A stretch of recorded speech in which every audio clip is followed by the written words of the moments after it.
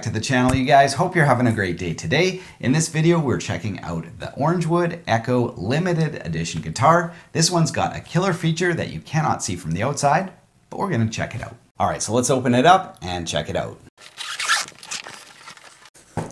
All right, so here she is. Now the Orangewood Echo is a dreadnought shape, which means when you strum it acoustically, you get a big, full, balanced, and bold sound. If you're not sure what kind of body shape to get on an acoustic guitar, if you want something that projects and has lots of full frequencies, Dreadnought is the way to go. Now the Echo features a solid spruce top and Pau ferro back and sides with a mahogany neck.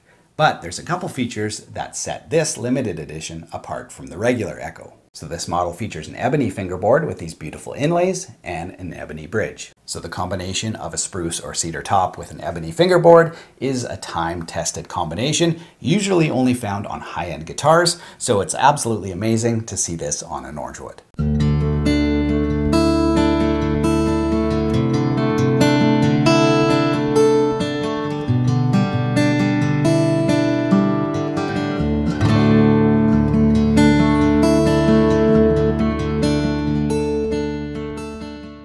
Now the other secret feature of this limited edition guitar that you wouldn't notice just by looking at it is it has an internal microphone for capturing tone. So you don't need an external mic anymore, it's got an internal one. Uh, it still has the under saddle pickup as well, and you can actually blend the two tones. So it's a little tricky to see, but the mic itself is tucked up under the sound hole so you can't see it from the outside, kind of nestled in between the bracing, and that's the main internal mic. Now the mic and the pickup are controlled by the center blend control. All the way one way is your under saddle pickup and all the way the other way is completely the mic and it can be blend in whichever ratio you prefer, which is really cool. Then you've got a tone control and a volume control and of course you press down for your onboard tuner. All right, you guys, so let's check out some tones. We're gonna record in three different ways. First of all, we're gonna use a high quality external microphone.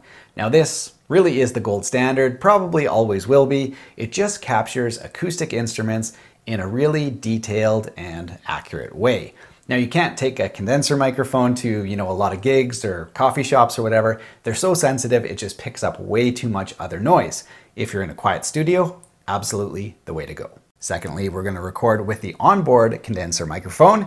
And thirdly, we're gonna use the under saddle pickup. All right, so let's check out the tones and see if we can notice a difference.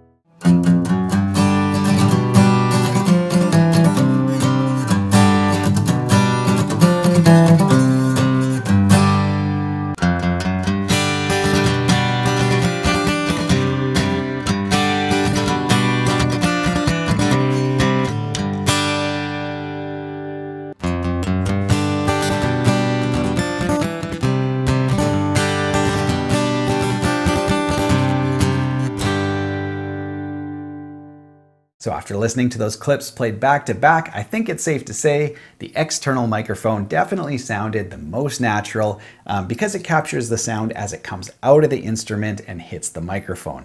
Uh, the internal microphone uh, didn't quite sound as spacious or open as the external microphone. There is a reason why, you know, recording studios use external mics. That being said, it's certainly not practical to bring an external mic to, you know, a live performance, a rehearsal, anything where there's a bunch of other people playing. It just won't work. That's why this system was invented. So I think there was some differences between the internal condenser and the undersaddle pickup namely in the attack of the note. So I thought, you know, frequency wise, there was some differences, uh, but the, the note attack was, you know, quite different. The undersaddle pickups are known for having, you know, a fairly aggressive attack and you get some of that thunk, thunk, thunk every time you play a note. Uh, you, I especially noticed it when I was listening back to the chords as I strummed through. You got a lot of pick noise and a lot of that really harsh transient attack. And the undersaddle um, pickups can have I don't know, like honky mids sort of. So you kind of get that really aggressive attack and some, some honky mid frequencies.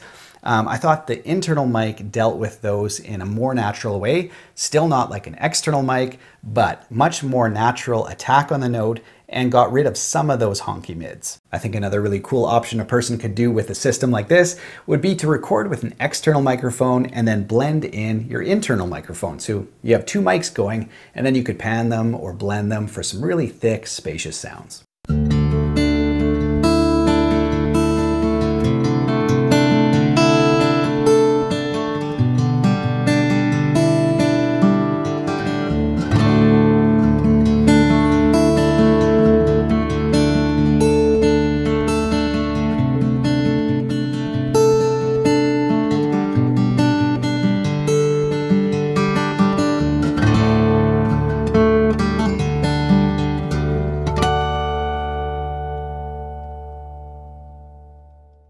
So the question is, is it worth it to have it on your guitar? Well, if you're ever going to use it to jam with friends or use it in a performance setting or in a band setting, absolutely. And you know, there's lots of other sounds on this. If you use the tone control and the blend control, um, you can really get a bunch of different sounds. Thanks so much for watching, you guys. Hope you enjoyed the demo of this Orangewood limited edition Echo. I'll put a link to the guitar in the video description below. You can check it out there. Have yourself a great week.